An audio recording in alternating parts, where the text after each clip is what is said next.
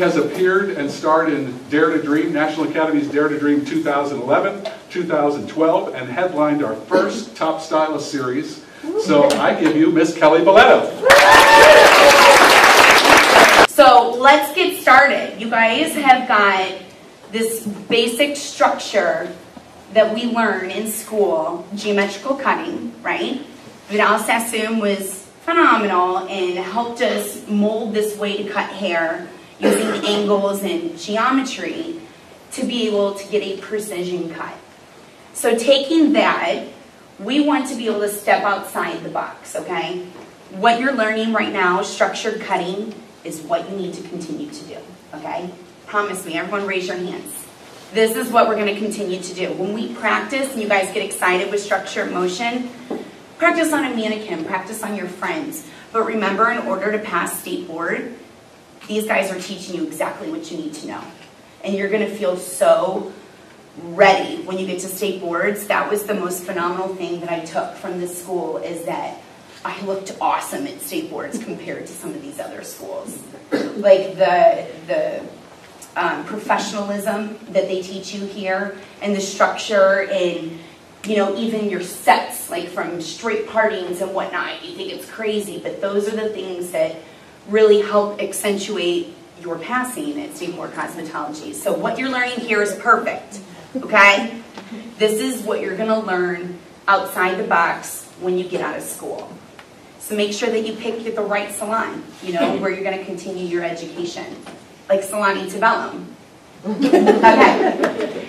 So with this system of cutting, like I said, it gives you the ability to cut the interior, the perimeter, and the texture all at one time. You do this all with one fluid motion, we do that by incising our shears, okay?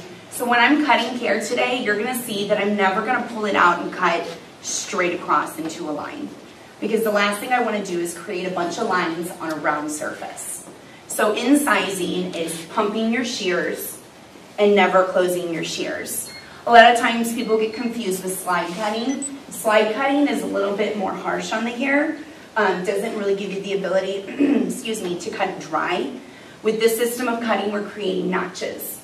We're just pumping and never closing our shears. So that's gonna create the texture, the pumping, but you're never creating a harsh line. So you're not gonna have any lines within the hair. The system's a little different too because we actually utilize the head shape when we're cutting. So if you think about this, when you're cutting hair and you're following the curves of their head to create, you know, rounded layers or graduation, if you're following somebody's head shape, you're creating something that nobody else is going to have. Because nobody else is going to have your client's head shape, right? We're all special in our own little ways, and when you're following the head, you're creating something to specifically fit their head shape and style specifically for them, but also it's going to mold onto their head, so it's going to be really easy to style, it's going to be really easy to consult too. So if you want to be able to build a book of business fast, we got to do something to stand out behind the chair, right? So with structure and motion, you're going to stand out behind the chair. We actually utilize Tai Chi methods to create a haircut kind of different, right? So I started studying Thai just to kind of understand like the bigger picture behind it. So what Thai does for you is focuses on the energy points in your body. We have one of the hardest jobs besides, what is it, um, dental hygienist, I believe, because they're all hunched over people's faces all day long. We have to deal with bad breath too, but it's just math, yeah. So with having such a harsh job on our bodies, we really need to make sure to take care of our bodies. So being able to pull the pressure off of our back and utilize our stance in a different way is going to help alleviate you having pain at the end of the day, but it's also going to, you know, keep you from swelling or keep you from having certain hip issues as you get older. I woke up this morning and had to like stretch so much because throughout the years, your body will wear down. So being conscious of it now and practicing ergonomics now is only going to help you prolong your career.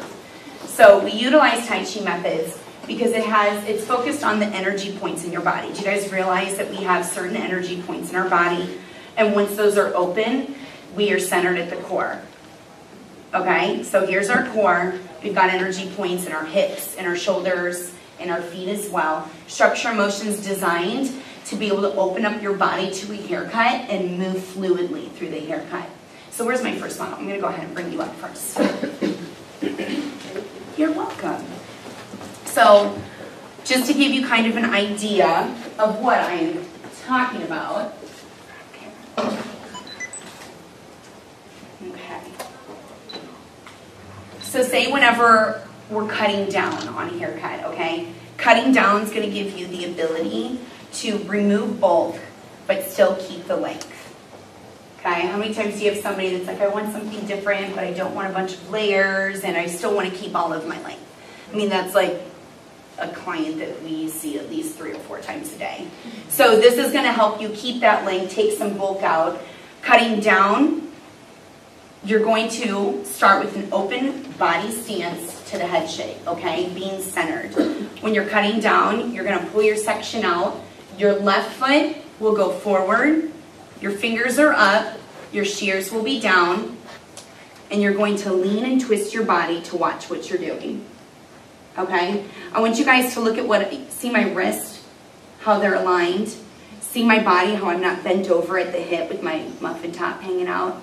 I know, it's crazy the way that things do. But if you think about it, the way that I was just standing compared to this, I mean, within a period of time, this really hurts your body. Yes, ma'am. If someone were left-handed, they would lead into it with the opposite side? Yes, I was going to get into that in just a second. Basically, if you're left-handed, do we have any lefties in here? Just you. You're going to mirror what I'm doing. So if you're left-handed, you're going to have your right foot forward, your fingers pointed up, and you're going to lean and twist your body to the right. Cool? Perfect. So that's cutting down. Cutting up, you're able to follow the head shape, creating um, rounded layers. You're able to create graduated layers as well. Cutting up, you're going to stand again, feet shoulder width apart. Your right foot will be forward, your fingers are down, and your shears are up, and we're leaning and twisting our body to the right. I'll show you guys over here too, because my hair likes to get in the way sometimes. So long and beautiful. but right foot forward, fingers down, shears up, and we can follow the head shape. Now what's great about structure motion is you can cut up, you can cut down, diagonally, stationary, mobily you're able to utilize the head shape to create something specifically for her. So what I'm going to do with her first is we're going to have a little consultation. Me, where's your party, first of all? Is it over here on the left? Do you like to have it cut down the middle so that it can go either way? Okay. And do we have a fringe as well? A little bit? Or are you growing that out? Yeah, you already have kind of like an A-line bob, and I was going to clean it up just so that you can feel the difference between the way you style it now and how easy it's going to be able to style it with this haircut. So as far as the back end, um, really just want to shape it up and clean up through the bottom. Maybe take just a little bit of the length off in the back just because we have some longer corners. Okay. But really, I just want to clean up the shaping you already have. Is that okay with you? Absolutely perfect. You're welcome. So the bigger picture here is what I want to do is always keep her at my chest level. My sternum, which is right there where the, the ribs meet, that's kind of the key point as to where you want the head to be. Trouble,